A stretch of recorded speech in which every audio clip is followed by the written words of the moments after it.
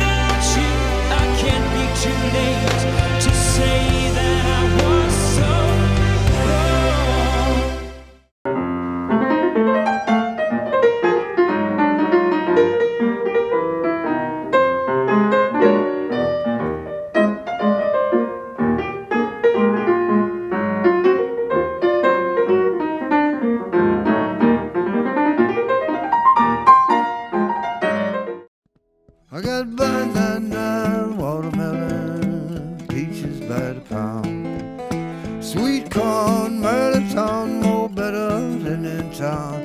I got okra, enough to choke your beans of every kind. If hunger is what's eating you, I'll sell you peace of mind. I'm just like so gross that my immune system is is pretty great. I just I'm I'm gross. Like I like I eat at Subway like proudly. I love it. I'll eat something off the ground, 5 second rule, like 5 month rule. I don't care like Sometimes I get jealous of my Roomba, to be honest with you. I was like, I was gonna get that. I was waiting for it to get like chewy.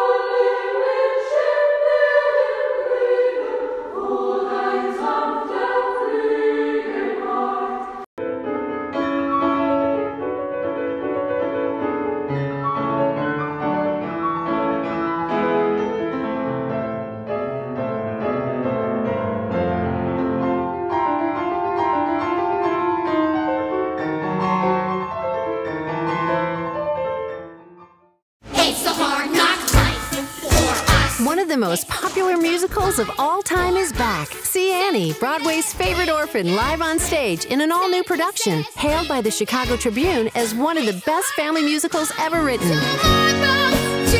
Annie is back to spread hope for all the hard knocks life throws your way. So clear away those sorrows and get your tickets to Annie today.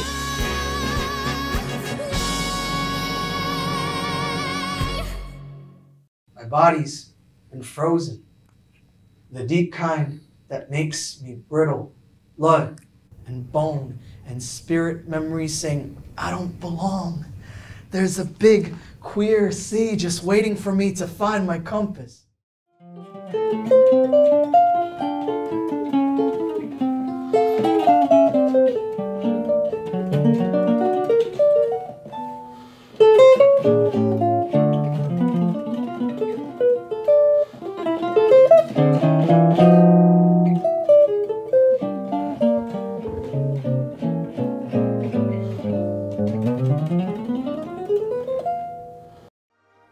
All the splendor, the magic, and the joy of the holiday season is here.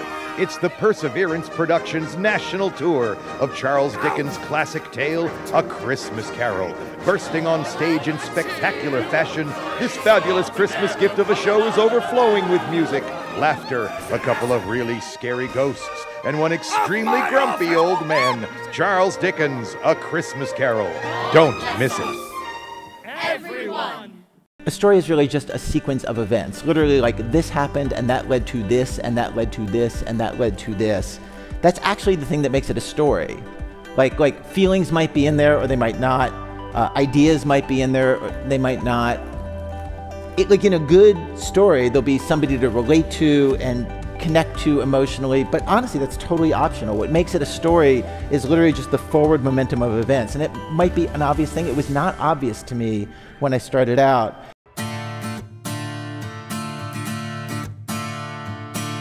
Cautionary tale of fear and lust and pride based on actual events where people died. No one died, but how far would you go to be popular and hot? Would you resist temptation? No, you would not. Just admit it.